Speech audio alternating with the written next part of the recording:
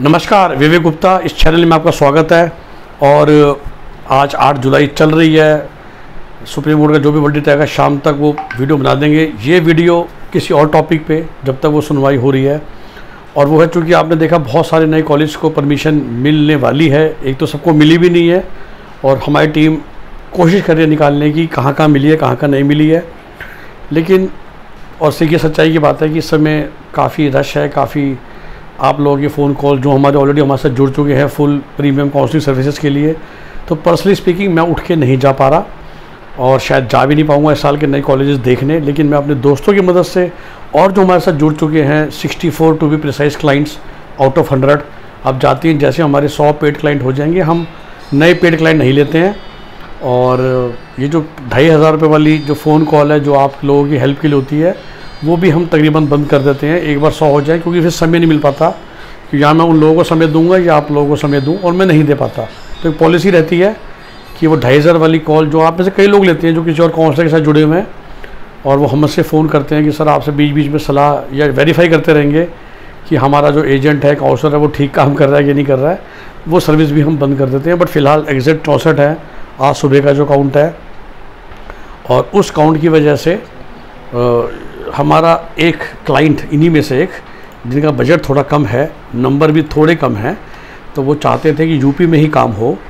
और वो हमारे कहने पर या अपनी श्रद्धा से जिसे मैं कहूँ, कल वो एक यूपी के कॉलेज में गए। एक ही अभी देख कर है क्योंकि वो दिल्ली से नीरस था और वो कॉलेज हस्तिनापुर में खुला है, जिसका नाम है S V S medical college and hospital और उन्हीं के मैं आपको शायद आपको बताता हूँ, मैंने पूछा कैसा रहा कॉलेज और ये वो है, सच बताऊँ जिनको वेंकटेश्वरा गजरौला भी ठीक ठाक लगा था मतलब इस इंसान की एक्सपेक्टेशंस बहुत बेसिक हैं और खुद बड़े सीधे सरल इंसान हैं। सर बेकार कॉलेज और अस्पताल अभी पूरा भी नहीं हुआ है। ये स्कूल चलाते हैं हॉस्पिटल तो भी हॉस्टल तो भी बना ही नहीं है। हॉस्पिटल बिल्कुल खाली है, अभी स्टार्ट ही नहीं हुआ हॉस्पिटल पूरे कॉलेज कंपाउंड में बहुत सारे मंकी घूम रहे हैं, जो वैसे भी बड़ा डेंजरस और रिस्की है। एक नहर किनारे कॉलेज है और वो एंट्री गेट ऐसा है कि बंदर के डर से आप बच्चा गिर सकता है नहर में। ये उनकी आठ लाइन की फीडबैक है।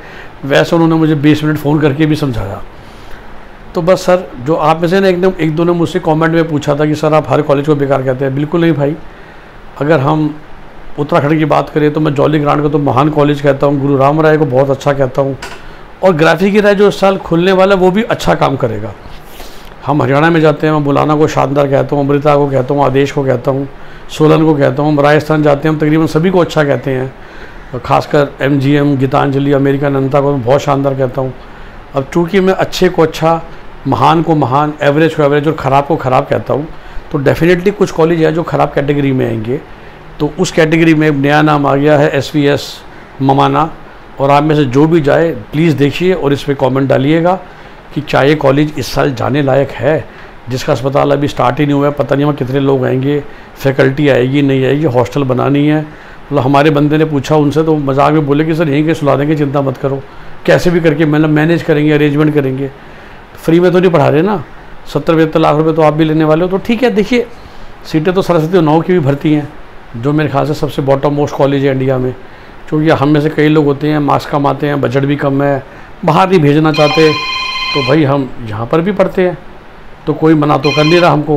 राइट लेकिन मेरा पर्पज़ ये रहता है कि एटलीस्ट आपको पता हो।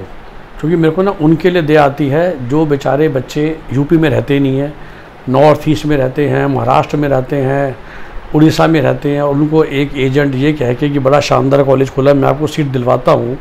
एक तो यहाँ एडमिशन दिलाता है प्लस में ऊपर से दो तीन लाख रुपए ले लेता है। और फिर बच्चा यहाँ पर जब आता है तो डिप्रेशन हो जाता है, उसको ठीक है, फिर वो मैनेज करता है क्योंकि फ़ीस दे चुका है, पहले साल की बॉन्ड साइन कर चुका है कि सारे कोर्स की फ़ीस देनी पड़ेगी अगर मैंने बैकआउट करा तो। तो ये सब चीज़ें हैं जिनका हम सबको ध्यान रखना है और उसके हिसाब से ही आप एक्शन लीजिए। यही कारण होता है कि मैं आपको कॉलेज के बारे में बता दूँ, जहाँ मैं जा सकता हूँ कि एटलीस्ट आप आँख खोल के, कहते हैं कि आँख खोल के मक्खी निकली है। ठीक है, कम से कम बिना खो बिना दिखे तो ना निकलिए ना। और मैं कह हर कॉलेज भरता है इंडिया में एम का। बट एटलीस्ट आप जानबूझ के सोच समझ के लीजिए कि हाँ जी, आपको पता था पर नंबर भी कम है बजट भी कम है तो मैं मैं जा रहा हूँ। दुख मुझे होता है कि जिनका बजट अच्छा है या उनके पास दूसरी ऑप्शन थी या वो रशिया के, उज्बेकिस्तान जा सकते थे। देखिए, इन कॉलेज से तो वाकई अच्छा है कि आप नेपाल, रशिया, उज्बेकिस्तान चले जाइए। वो ज़्यादा बेटर पढ़ाएँगे और आधे पैसे बच जाएँगे आपको। राइट तो बस उसी वजह से मैं आपको लाइट कॉलेज के बारे में बताता हूँ। और लास्ट ईयर हमने देखा ना 2022 में चिंतपूर्णी पठानकोट खुला था जो अगले साल बंद हो गया। तो वो सब चीज़ें भी होंगी। नेक्स्ट क्लियर करना बहुत मुश्किल हो जाएगा ऐसे कॉलेजेस के साथ। तो आप प्लीज़ सोच समझ के अपना फैसला कीजिए डिसीज़न लीजिए। इंडिया में पढ़िए, कम से कम जिस कॉलेज को देखिए दो तीन साल हो गए हैं, वो तो थोड़ा सा सेफ़ कैटेगरी में आ जाता है। तो उसमें भी उन्नाव को तो बहुत साल हो गए, वो भी तक नहीं आ पाया। इन इन ए गुड कॉलेज और जो बिल्कुल इस साल खुल रहा है तो please understand the difference with जब ग्राफिक कीरा खुलता है, या एमजीएम खुलता है, या ये एस खुल रहा है, या इस तरह जैसे और जैसे खुल रहे हैं। सो प्लीज़ ध्यान रखिए, सोच समझ के एडमिशन लीजिए, और उन्हीं वजहों से मैं ये वीडियोस आप लोगों के लिए बनाता हूँ, ताकि आप लोगों को सही जानकारी मिले, और आप सोच समझ के फैसला कीजिए। और आपको अगर बेटर ऑप्शन मिल रही थी तो वहाँ पर जाइए। वही आपको ऑप्टिमल सीट मिले, उसी के लिए हम प्रयास करते हैं। आपको पेड काउंसलिंग सर्विसेज़ देते हैं। Nine six four three three six two three two zero हमारा नंबर है। यही नंबर डिस्क्रिप्शन में भी लिखा हुआ है। डिस्क्रिप्शन में आपको हमारी कंपनी की वेबसाइट वगैरह सोशल मीडिया पेजेस एड्रेस सब मिलेंगे। तो ऐसा मैं सोचिए कि हम खाली एक फ़ोन नंबर की कंपनी है। पूरा एड्रेस ऑफ़िस सब कुछ है, वो इतना लंबा बोला नहीं जाता। पर हर वीडियो के डिस्क्रिप्शन में आपको हमारा पूरी वेबसाइट मिलती है। जिस वेबसाइट पे आपको हमारे सारे ब्रांच ऑफ़िस एड्रेस भी मिलते हैं। ठीक है बेस्ट विशेष बेस्ट ऑफ़ लक नए कॉलेज में सोच समझ के एडमिशन लीजिए। धन्यवाद।